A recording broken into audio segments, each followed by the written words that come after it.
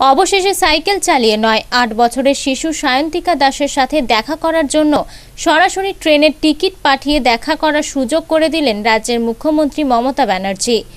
বুধবার মুখ্যমন্ত্রী দপ্তর থেকে মালদা জেলাশাসক রাজশ্রী মিত্রের কাছে ফোন আসে। জরুরি ভিত্তিতে সায়ন্তিকা দাস ও তার পরিবারকে কলকাতা পাঠানোর ব্যবস্থা করার নির্দেশ দেওয়া হয়। সায়ন্তিকা দাসের পরিবারের সাথে কথা বলেন জেলাশাসক মালদা হাওড়াগামী ট্রেন সরাইঘাট এক্সপ্রেসের টিকিটের ব্যবস্থা করা হয় প্রশাসনের পক্ষ থেকে। বৃহস্পতিবার সকালে হাওড়া থেকে কালীঘাট যাবে সায়ন্তিকা সাইকেল চালিয়ে। কলকাতার পুলিশের পক্ষ থেকে সমস্ত ব্যবস্থা করা হচ্ছে বলে প্রশাসন সূত্রে জানা গেছে। উল্লেখ্য, মুখ্যমন্ত্রীর কন্যাশ্রী, রূপশ্রী সহ বিভিন্ন প্রকল্পের সুযোগ পেয়ে মালদা শহরের মনস্কামনা পল্লী এলাকার বাসিন্দা সায়ন্তিকা দাসের দুই দিদি উচ্চশিক্ষার সুযোগ পেয়েছে। মধ্যবিত্ত পরিবারের প্রদীপ দাসের ছোট মেয়ে সায়ন্তিকা দাস। স্থানীয় একটি স্কুলের দ্বিতীয় শ্রেণীতে পাঠরত। সরকারি এই প্রকল্পের সুযোগ পাওয়ার জন্য মন্ত্রী মমতা ব্যানার্জিকে ধন্যবাদ জানিয়ে মালদা থেকে সাইকেল চালিয়ে কলকাতার কালীঘাটের বাড়িতে যাওয়ার ইচ্ছে প্রকাশ করেছিল।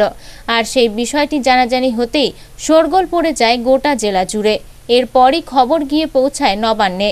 তারপরে রাজ্যের মুখ্যমন্ত্রী মমতা ব্যানার্জি মালদার ওই খুদে স্কুল পড়ুয়াকে দেখা করার জন্য প্রশাসনের মাধ্যমে যোগাযোগ করার ব্যবস্থা করে দেয়।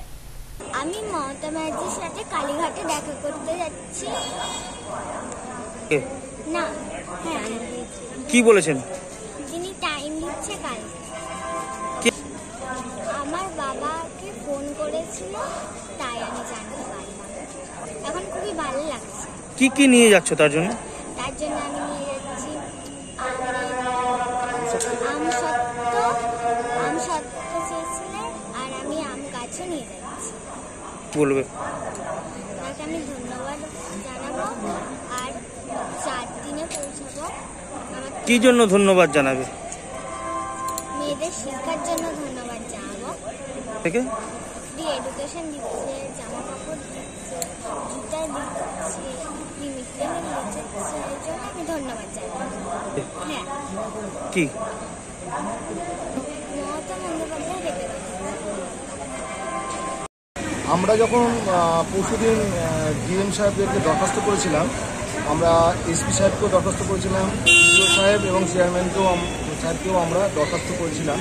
কারণ বাচ্চা মেয়েটা বায়না যে মমতা ব্যানার্জি মহাশয়ের সাথে সে মাননীয় আমাদের সিএম সাহেবের সাথে দেখা করবেন।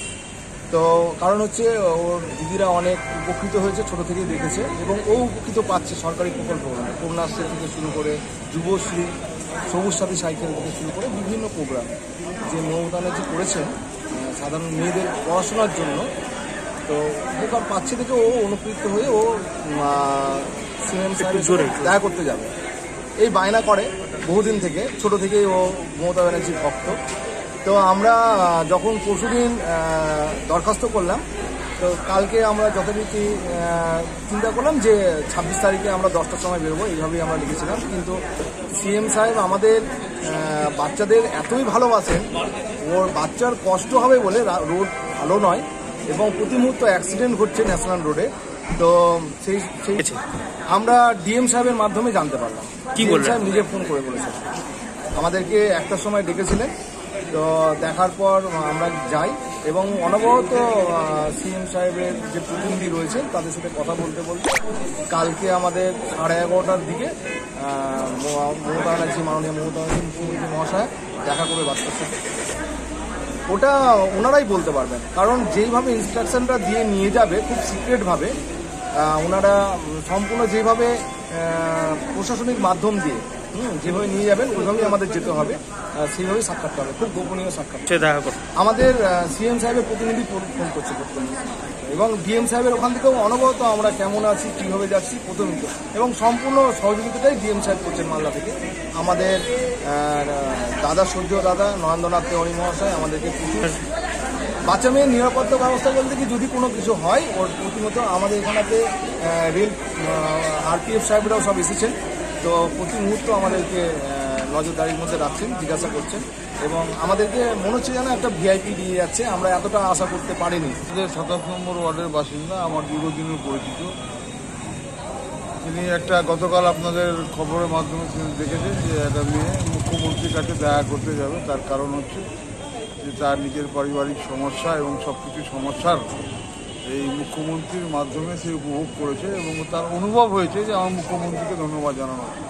তো এটা চিন্তাধারা করেছিল যে সাইকেল চালিয়ে যাবে মালদা থেকে, কিন্তু সেটা মালদা থেকে সাইকেল না চালিয়ে মালদা থেকে ট্রেনে যাবে আর ট্রেনের পর থেকে ওখান থেকে তারা নবান্ন আগামীকাল যাবে মুখ্যমন্ত্রী ওদেরকে সময় দিয়েছে আমি পাশের কাউন্সিলর এবং অভিভাবকের ভূমিকায় আমি এসে তাদেরকে আজকে সরাইঘাটে তারা যাবে আমি তাদেরকে স্টেশনে উঠিয়ে দিই। অবশ্যই এটা তার মাথায় এসছে তার চিন্তাধারা আসছে তার মান মানসিকতাকে আমরা স্যালুট জানাচ্ছি। এই বয়সে সে এই চিন্তাধারা নিয়েছে এবং সবচেয়ে বড় খুশি হচ্ছে যে আমরা গর্ববোধ করছি যে যে দলটাকে নিয়ে বলছেন সেই দলটা এবং সেই নেতৃত্বটা হচ্ছেন আমাদের নেত্রী মাননীয় মুখ্যমন্ত্রী মমতা ব্যানার্জি। এই জন্য আমাদের কাছে অনুভব যে আজকের দিনে আমরা সাফল্য যে আমাদের নীতি দিদি আমাদের মুখ্যমন্ত্রী যা কাজ করছেন শুধু বড়দের না, ছোট শিশুদের মনেকেও ঘা করছে, মনেকে আঘাত করছে, সেটাই উদাহরণস্বরূপ আমরা আমাদের পাশের ওয়ার্ডের একটি বাচ্চা মেয়ের মুখ দিয়ে মালদা থেকে দেবু সিংয়ের রিপোর্ট, আনন্দ বার্তা।